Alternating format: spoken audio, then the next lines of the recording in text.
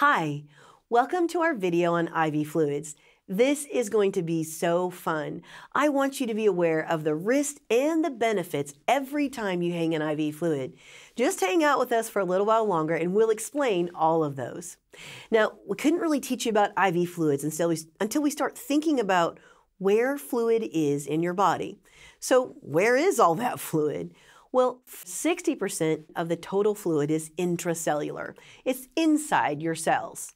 The other 40% is outside of the cells. So as we're getting started, I just want you to keep in mind, where is the fluid in your body? Outside the cell or inside the cell? Those are your first two options. So inside the cell, we just call intracellular. That's not very exciting, right? But outside of the cell, we've got two other places fluid could be interstitial or it can be intravascular. Okay, so let's not get ahead of ourselves. Start with the green boxes. If we're asking where fluid is, first it's either inside the cell or outside the cell. Everybody with us? Okay, cool. Inside the cell, we call that intracellular. Outside of the cell, we call that interstitial or intravascular. Interstitial is kind of like all around my tissues and my cells. Intravascular is in my vessels. Remember, I'm supposed to stay an intact system from my right atrium when it goes all the way through, back up, and back to my right atrium. That should be a closed system. That's considered your intravascular space. Inside the cell, outside the cell. Why do we keep going over that? Trust me, it's going to matter when we hang IV fluids because it's going to cause fluid to shift back and forth between those spaces. So interstitial is between the cells and in the tissues. Intravascular is inside the blood vessels. Okay, I'm going to feel better if we do this just one more time. Fluid is either inside the cell or outside the cell. The two places fluid is when you're outside of the cell, interstitial or intravascular. Now, before we go on, see if you can sketch that out really quickly in your notes. Trust me, it's going to matter as we get going. Now let's look at the specific IV solutions you'll be hanging. Isotonic means equal. ISO means equal. You're not going to have any fluid volume shifting differences. So as much goes in or out, everything will be, like I said, equal. The next type of solution is hypotonic. Now that means that it's a solution that's less tonicity than what your serum's blood is. So it will cause fluid to shift into the cells. So then the cells get bloated. So when I hang a hypotonic solution, it will cause fluid to shift into the cells. So we've talked about isotonic, hypotonic. Now we're talking about hypertonic. Hypertonic solutions look at those cells. Compare them. In the first example for isotonic, they look about the same. In hypotonic, starting to swell. You see those arrows going into the cell. For hypertonic, look at them. They look like dehydrated potato buds. They're all shriveled up. Because if I hang a hypertonic solution, it's going to cause fluid to shift out of the cells, and that's why they look so dehydrated.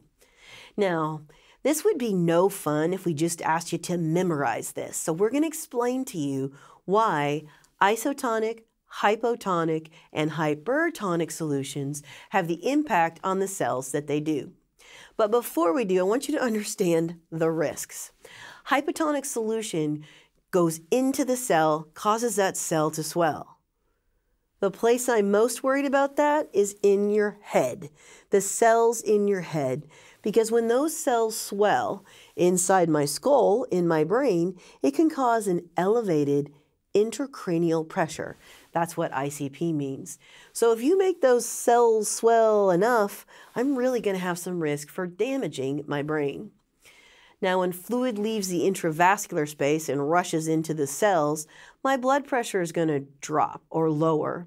Depending on how severe I am or how much fluid you hang, I might be at risk for cardiovascular boom collapse.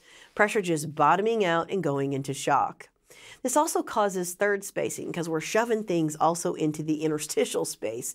So third spacing means I've got fluid in inappropriate places. That's what third spacing is. I should have the equal amount of my intravascular space and my tissues be kind of moist. But third spacing is like, think of it as edema. It's inappropriate fluid placement. Now, hypertonic is going to lead us to dehydrated cells. And we're also going to be at risk with patients with DKA because people who are in diabetic ketoacidosis are already extremely dehydrated. So you want to keep in mind this is a great summary slide. I know you don't quite understand it all yet, or if you do, whoa, I'm impressed with you. But I want to explain the rationale to you on why these things happen. Isotonic, relatively minimal change. Hypotonic, I'm going to have fluid rush into the cell. Big problem for people with elevated intracranial pressure. I might drop their blood pressure and they're going to have edema or third spacing. Hypertonic, woo, I'm going to dehydrate that cell. So it's a problem with people who have extreme dehydration like DKA. So what are we talking about? In the cell, out of the cell, rush in, rush out. Well, I want to introduce you to a term you've probably heard back in junior high lab classes, but osmolality is the number of osmoles per kilogram of water. Yeah, okay, did I lose you there? I mean, have you fallen asleep yet? But hang with me, this is good. We usually use it to describe fluids inside the body or the solute concentration in fluid by weight. Yeah, I know, not extremely exciting, is it?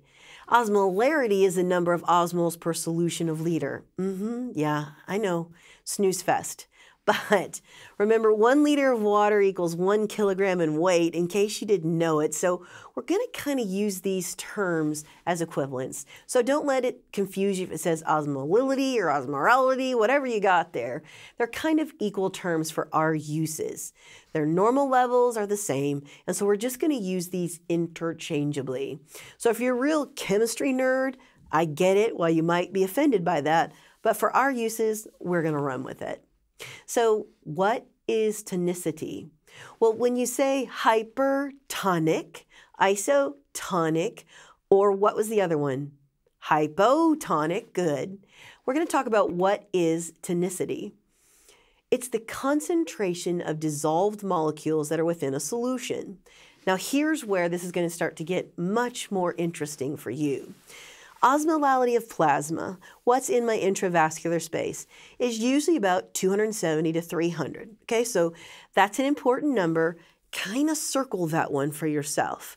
So I would imagine that if a solution is isotonic, would it be equal, higher, or lower osmolality? Look at that, how they've got the colors across the top to let you see the 270 to 300. That's normal isotonic solutions right there. It's a great slide summarized for you. You can see that isotonic solutions are pretty close to equal of what your serum is, what your plasma is. And we've got them all listed for you there. Now, if it's higher, greater than 300, that makes it hypertonic. If it's lower, that makes it hypotonic. Okay? So again, another great summary slide for you. That's one I would Xerox and put in my pocket if you had it. So tonicity is the tonicity of the fluids. Isotonic fluids, and we just saw in that beautiful slide, close to 300, same as my plasma.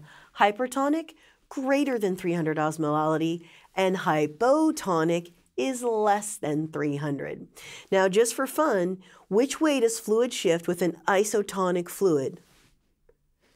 Trick question, right? It shouldn't really shift because it matches the same tonicity. Now we're going to remember what happens if you hang a hypotonic fluid. Well, when I hang a hypotonic fluid into my serum, right, into my vein, now all of a sudden I am more intense or saltier because salt's a predominant electrolyte. Since I've hung a hypotonic solution, I'm saltier inside my cell. That's why fluid rushes into the cell. With hypertonic fluids, now I'm saltier or more concentrated outside of the cell in my intravascular space, and fluid is going to rush from the cell into my intravascular space. Okay, we'll keep going over that. Don't worry if it sounds a little confusing. Sometimes it is when you first start looking at this, but I promise you it's going to click.